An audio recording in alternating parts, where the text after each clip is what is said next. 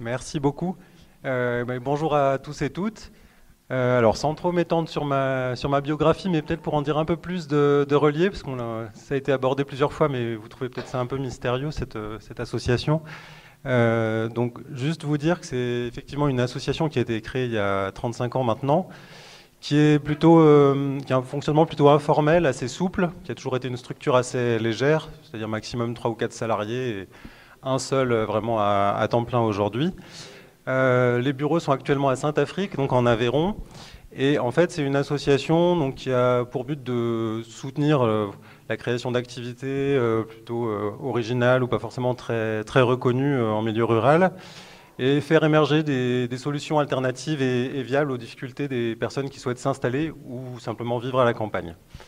ça s'inscrit dans un, un, mouvement et un projet d'éducation populaire. C'est issu d'un mouvement qui s'appelle Peuple et Culture, euh, voilà, qui en gros vise à prendre du recul sur des situations tendues, euh, approcher collectivement des, problèmes difficiles à résoudre tout seul.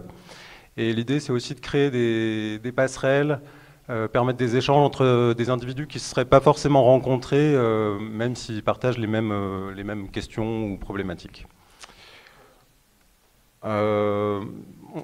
Ce qui fait qu'en termes de domaine d'intervention, il y a eu des choses aussi bien sur l'agriculture au départ, avec euh, bah, des, fermiers, des paysans qui cherchaient à prendre du recul sur leur activité, se libérer du, temps. Mais euh, à chaque fois, en fait, il y a un, chantier thématique qui est travaillé dans l'association pour 2, 3, 4 ans, le temps d'organiser des rencontres, euh, faire une sorte de veille sur différentes expériences et parfois faire émerger des outils ou un mouvement sur la thématique travaillée. Euh, voilà, donc euh, de l'échange, euh, laboratoire d'idées, expérimenter des choses et si ça donne quelque chose qui a l'air intéressant, essayer de le partager, de, le, laisser aimer. Bah, j'en ai, j'ai un peu parlé au début des premiers chantiers, mais un, donc un exemple, c'est des personnes en fait qui étaient au départ sur une production un peu spécifique en agriculture dans les années 80, ont monté un cycle de formation pour diversifier leur activité, intégrer par exemple de la transformation au-delà de la simple production agricole, prendre en compte euh, des questions d'accueil ou de vente directe sur leur, euh, leur lieu de, travail. Euh, voilà. je passe un petit peu plus vite sur les autres chantiers pour aller davantage sur le, ce qui nous intéresse aujourd'hui, c'est-à-dire plutôt les questions d'accès à l'habitat et aux locaux d'activité.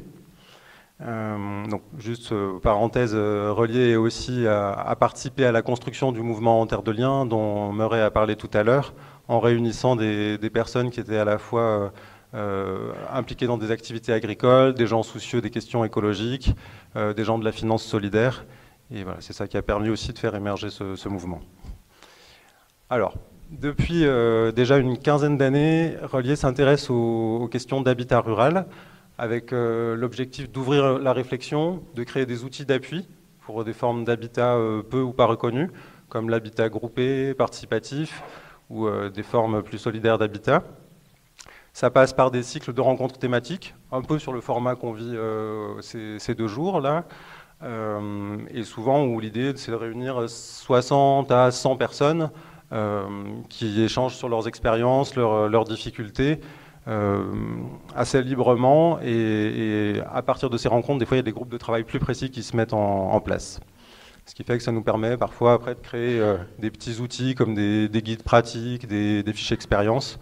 Euh, on y reviendra peut-être en atelier cet après-midi pour, voir ce qu'on trouve dedans. ça je passe. Alors je viens sur l'habitat rural. Je ne sais pas si vous voyez très bien ce qui est à l'écran. Euh, c'est pas très grave pour la carte, c'est plus euh, histoire de donner quelques chiffres. Euh, donc l'habitat, c'est quelque chose qui est assez difficile à appréhender en termes de chiffres parce que c'est mouvant, on s'appuie sur des recensements et en plus on peut difficilement l'aborder sans parler aussi des questions de démographie, d'emploi ou de travail, de migration des personnes. Alors nous, on a mené un, quand je dis nous, en tout cas l'association a mené un travail plus spécifique sur le massif central bah, notamment de 2006 à 2012, avec un programme d'action où il y avait à la fois de la, veille, de la participation de, chercheurs, démographes, sociologues, et euh, des rencontres euh, d'acteurs, de porteurs de projets qui voulaient s'installer.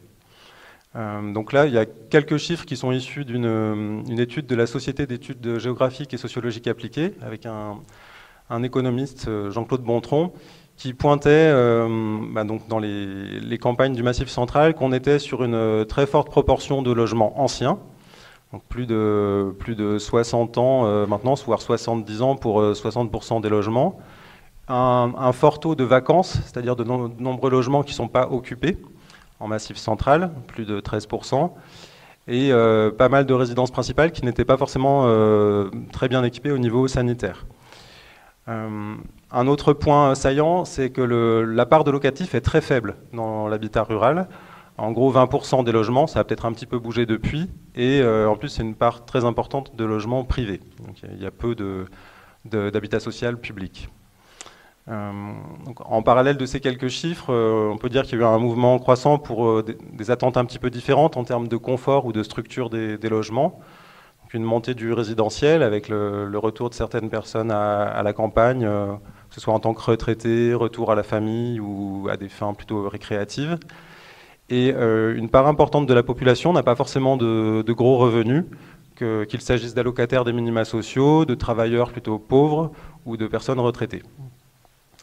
Euh, enfin, il y a la question du patrimoine qui est assez importante euh, par rapport à l'habitat rural, c'est-à-dire que c'est quelque chose qui attire en fait le fait qu'il y ait des vieilles pierres, des constructions qui ont un certain cachet, une identité. Euh, mais euh, tout le monde n'a pas forcément conscience de ce que ça implique après en termes d'entretien, euh, de coûts. Alors, je viens, j'ai essayé de distinguer quelques enjeux pour l'habitat et les locaux d'activité par rapport aux questions de l'accueil et de l'installation. Donc, donc, là, le sujet aujourd'hui, c'est notamment sur les questions d'accès ou d'accessibilité. Donc, ça se pose d'abord d'un point de vue économique et financier là, les situations sont très variables selon les régions où on se trouve et le type de bâti. Mais euh, bien qu'on se trouve en rural, il y a des phénomènes de spéculation immobilière euh, assez fortes euh, à l'œuvre, notamment dans des zones tendues ou touristiques. là, je citais les arrière-pays des littoraux méditerranéens ou aussi sur la façade atlantique parfois. dans les Alpes du Nord aussi, ou à la sortie des grandes agglomérations. Mais dans d'autres endroits, par exemple des centres-bourgs petites villes euh, du Massif central. Euh, au contraire, si je puis dire, il y a des bailleurs qui vont avoir du mal à entretenir et louer leurs biens, euh, quand bien même ils le proposeraient à des, à des prix très faibles. Donc là, par rapport à ça, il y, a, des choses qui ont été testées ou expérimentées, comme la, régulation du marché des loyers, mais elle reste très modeste. Bien sûr, il y a les aides au logement, et on voit plus récemment émerger des, des outils d'appui financier, alors soit pour les, des groupes ou des porteurs de projets qui veulent s'installer, mais aussi des aides pour tout ce qui est euh, réhabilitation des logements, euh, aide à l'isolation par exemple, ou mise aux normes. Après, l'accès, euh, les problèmes d'accès à l'habitat, ils ne se posent pas simplement d'un point de vue financier. C'est aussi simplement que des fois, il n'y a pas d'habitat sur le lieu qui irait bien pour une activité ou trop loin. donc là, il y, a, voilà, il y a la question de la localisation. Il y a la question de, du fait que beaucoup de, biens sont vacants, euh, avec des propriétaires qui ne sont pas forcément prêts à remettre euh, à disposition en location leur, logement, parce qu'ils y sont attachés, parce qu'ils n'ont pas le temps, euh, voilà, pour des habitudes. Et aussi une part importante du parc de logements qui est, qui est mobilisé plutôt pour un usage touristique ou récréatif, donc les résidences secondaires, les meublés touristiques. Ce qui fait que certaines personnes, des fois, euh, trouvent un logement euh, bah, faute de mieux rapidement pour quelques mois, mais doivent le laisser l'été euh, parce qu'en fait, c'est réquisitionné en gros pour, plutôt pour des besoins touristiques. donc là, il y a un travail important à faire en termes d'offres de logement et des, besoins exprimés. Il y a des collectivités qui font un travail de sensibilisation en direction des propriétaires pour les inciter à, remettre sur le marché leurs biens ou l'entretenir mais ça demande à la fois des compétences et des moyens euh, d'animation territoriale. Euh, et enfin, oui, donc j'en ai un peu parlé déjà, l'accessibilité plutôt en termes géographiques, donc ça dépend de la localisation, mais aussi de la qualité des dessertes, parce qu'on peut avoir des habitats très chouettes, mais qui sont perdus euh, au fin fond d'une petite route difficilement accessible, et où il y a rarement de transport en commun, donc ce qui peut vouloir dire beaucoup de, voitures, un temps conséquent et des, et des frais pour se déplacer, avoir accès aux, services, au travail parfois, euh, à l'école ou aux loisirs. Donc, par rapport à cet enjeu-là, euh, bah, il y a une réflexion et déjà pas mal d'expérience sur le, lien et la cohérence entre le lieu où on vit et le lieu d'activité, qui parfois peut se confondre, notamment pour des, paysans ou des artisans.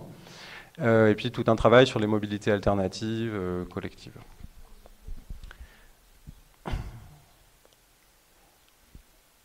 Autre enjeu, la question des formes constructives, de l'entretien du bâti. Alors, je le disais tout à l'heure, il y a une part importante du bâti en rural qui est assez ancien, euh, donc, qui est parfois aussi vétuste, et ça demande du temps, des compétences ou de l'argent pour l'entretenir. par rapport à ça, il y a diverses initiatives d'accompagnement à la maîtrise d'ouvrage ou la maîtrise d'œuvre. Il y a des gens qui parfois réhabilitent eux-mêmes leur bâtiment, parfois en étant accompagnés tout un engouement aussi pour des chantiers participatifs, mais ça demande aussi à être préparé, ou que des personnes sachent euh, les organiser, euh, voir comment associer les gens. Et en tout cas, beaucoup d'échanges de pratiques et de savoir-faire euh, sur, sur l'entretien. donc les attentes des nouveaux arrivants dans ces campagnes évoluent aussi. Par rapport aux structures des logements existants, il y a une, envie pour plus de lumière, donc avec plus d'ouverture, casser des cloisons des espaces plus grands, même si euh, c'est pas forcément des plus grandes maisons, mais en tout cas des pièces plus grandes à l'intérieur, et aussi une grosse attente d'extérieur, de pouvoir avoir un, petit lopin à côté, euh, ou au moins une terrasse, ou voilà, pouvoir euh, manger à l'extérieur. Hum, du coup, là, ça demande tout un travail un peu d'études urbaines ou architecturales, et que les projets soient un peu pensés en amont avec les habitants, parce que c'est pas facile de faire évoluer bah, des bâtisses qui ont été construites dans une certaine culture il y a 50, 60 ou bien plus que ça parfois. Euh, voilà. Donc il y a pas, mal d'associations, de nouveaux bureaux d'études qui travaillent avec les, habitants pour prendre en compte ces enjeux-là, euh, voilà, sans rentrer dans des, projets euh, très chers ou autres.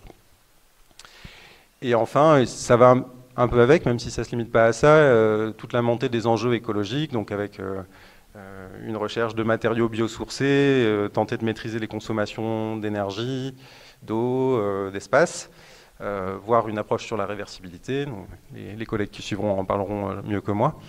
Euh, du coup, tout un mouvement aussi pour conseiller ou accompagner à ces constructions-là, essayer de structurer des filières d'accès aux matériaux et puis le, recours au répertoire un peu des artisans ou des accompagnateurs qui peuvent faire ça.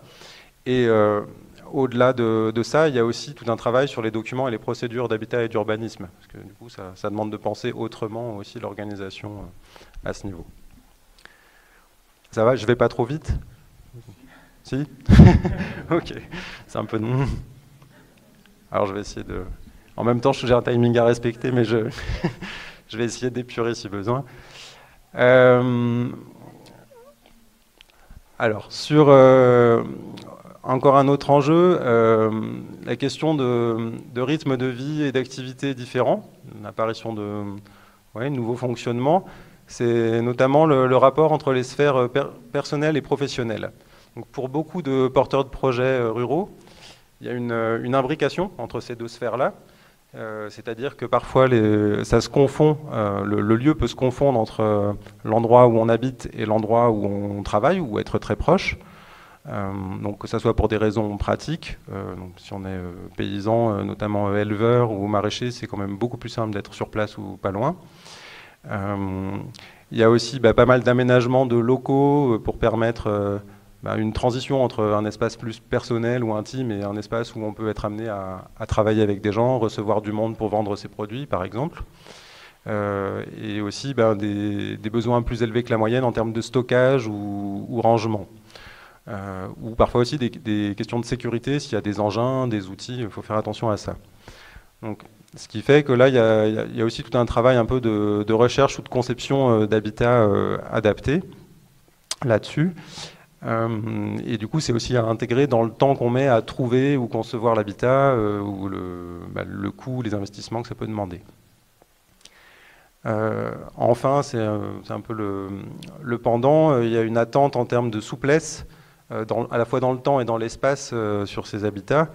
Euh, donc les évolutions du travail, la, question de la dispersion des familles ou des activités font qu'on a tendance à davantage se déplacer euh, qu'il y a quelques années, à la fois euh, régulièrement au quotidien ou tout au long de l'année, mais aussi au long de la vie. en parallèle, en même temps, les gens ressentent davantage, en tout cas pour les porteurs de projets ou les, gens qui cherchent à se maintenir à la campagne, peut-être une, une attente un peu d'ancrage, euh, parfois une envie de ralentir, retrouver des, des fonctionnements de proximité, pardon. Euh, voilà. Donc là, il y a des choses qui se frottent un peu, mais en tout cas, une grosse attente pour des habitats ou des locaux qui soient adaptables, personnalisables, avec des investissements peu, euh, peu importants ou légers, des facilités de mise en œuvre qui, permettent d'avoir des transitions plus faciles.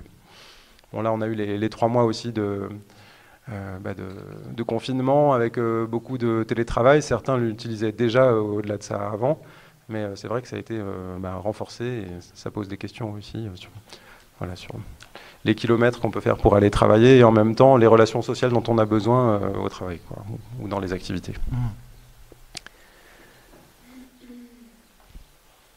Un petit focus sur la dimension collective qui a déjà été soulignée par les, deux personnes qui sont intervenues avant.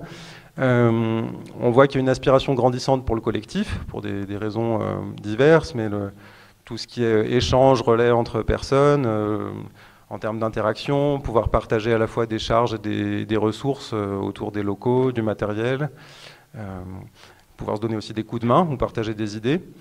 Ça, au niveau de l'habitat, ça se traduit par de l'habitat ou des locaux d'activité.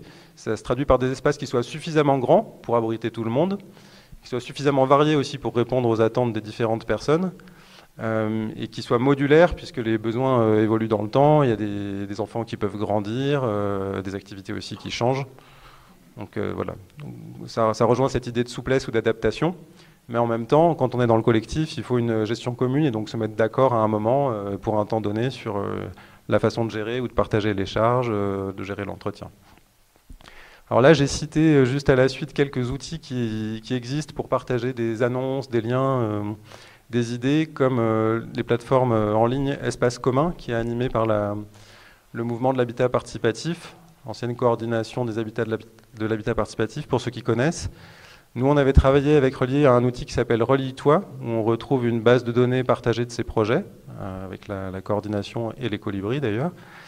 Euh, et, plusieurs outils de mise en lien, en gros, en fonction des attentes ou des besoins des personnes, euh, voilà, en termes de collectifs, d'endroits, de ressources. Je, ouais, je pourrais peut-être revenir sur les, publications, les, liens ou les, contacts utiles, si vous voulez. Hmm. Ah, pardon, rien compris. Merci. Hmm. ok. Hmm. Alors je vais accélérer un peu. Hmm. Euh, sur les. Alors oui, aussi, bah, au-delà des outils d'appui ou de l'échange, il y a un gros travail en cours sur euh, l'adaptation et le plaidoyer pour un autre cadre juridique euh, et économique pour ces projets qui souvent ont du mal à accéder aux prêts bancaires, à obtenir les aides qui sont disponibles par ailleurs pour d'autres logements ou d'autres locaux, et aussi un travail sur la fiscalité. Mmh. Alors, je vais profiter des 2 minutes 30 qui me restent pour vous présenter quelques exemples. J'en ai choisi trois. le premier, c'est des locaux associatifs qui se trouvent en Haute-Loire, dans un, bourg de à peu près 10 000 habitants, à Brioude. donc là, c'est des locaux qui sont installés depuis une vingtaine d'années qui ont pu être acquis par une société civile immobilière euh, constituée des différents euh, occupants. Euh, cette société civile immobilière est encore gestionnaire des lieux. Donc à l'intérieur, on retrouve des acteurs comme des associations d'éducation populaire, qui sont assez proches de Relier, comme DASA. La FOG, c'est une association de formation à la comptabilité et la gestion pour les agriculteurs, accueil paysan, voilà, j'en passe. Le, principe là, c'est que ces, structures partagent les charges en fait en fonction de leur taille, en termes de volume d'activité ou de nombre de salariés, et euh, en fonction de l'évolution de leur budget. Donc il y a trois étages, euh, je ne sais plus combien ça fait en mètres carrés exactement, mais euh, un café associatif en bas, des locaux de réunion avec du matériel de reprographie, une bibliothèque, voilà. Euh, et, aussi, en fait, ils ont, en tout cas pendant longtemps, ils ont mutualisé un poste salarié entre les différentes associations pour tout ce qui est accueil téléphonique et secrétariat.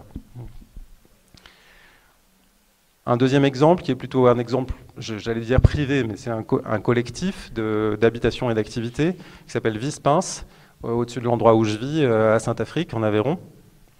Donc là aussi, il y a une, société civile immobilière qui a été constituée, qui est propriétaire du foncier, alors pas du foncier agricole, mais du foncier plutôt euh, de, vie.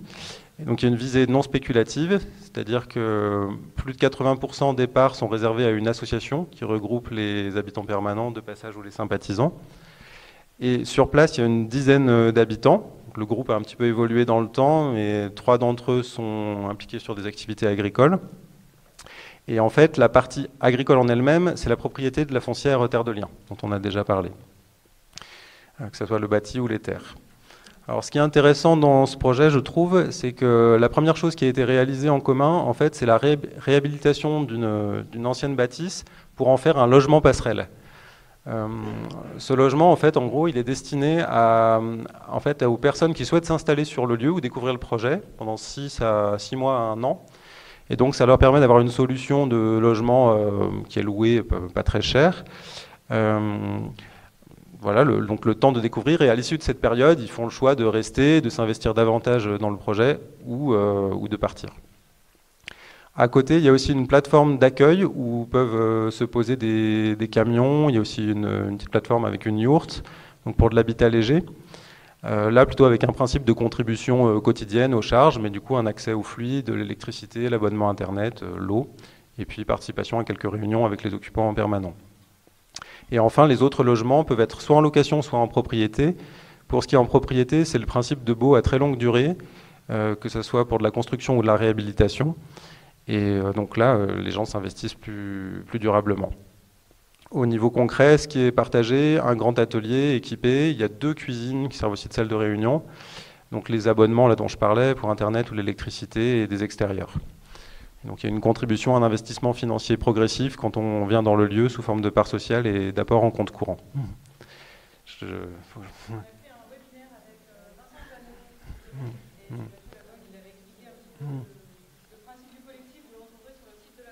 Ouais. Merci Marie-Hélène, oui, effectivement comme ça. je passe au dernier projet. Dernier projet que je connais moins, mais je voulais parler d'une initiative plutôt euh, euh, d'une collectivité. Alors peut-être que certains le connaissent, c'est sur le balcon plutôt euh, de l'autre côté du, Vercors, pas très loin de Grenoble. C'est un, petit village, je crois, à 25 km, il me semble, de Grenoble, qui s'appelle Miribel-Lanchâtre. Et là, ils ont eu l'initiative de créer un, lotissement qui associe à la fois des logements et des locaux d'activité. Donc ça remonte à une vingtaine d'années là aussi. Euh, une commune qui avait tendance un peu à se transformer en village dortoir avec des gens qui travaillaient dans l'agglomération grenobloise, la disparition des activités agricoles euh, locales. Et du coup, euh, ils ont eu donc l'expérience, l'initiative de créer ce, lotissement. Alors concrètement, ça, ça, il y a eu huit logements locatifs réalisés, locatifs sociaux trois maisons individuelles en accession à la propriété, des locaux d'activité, quatre exactement, plutôt pour des entreprises qui privilégient l'emploi local, puis aussi euh, des équipements euh, collectifs comme une chaufferie bois et un espace vert non constructible. Et là, c'est la démarche qui est, originale et intéressante, puisque en fait, ils ont associé euh, assez en amont, euh, sous la forme d'un comité de pilotage, euh, à la fois les opérateurs du logement, des étudiants de l'école d'architecture qui ont proposé en fait des, projets qui ont été soumis en fait avec les habitants ou les, les personnes intéressées pour venir s'installer là. Il y avait aussi le CAUE de l'Isère qui était partie prenante et, et du coup bah, ça, a pris du temps parce que ça s'est fait entre 1995 et 2002. Ils ont mobilisé des financements importants, plus de 650 000 euros de subventions sur un, million, un million d'euros de projets. Bon, là, je vous cite les différents acteurs.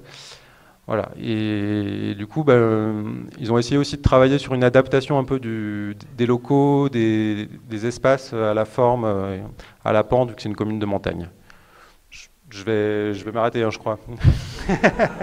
Désolé.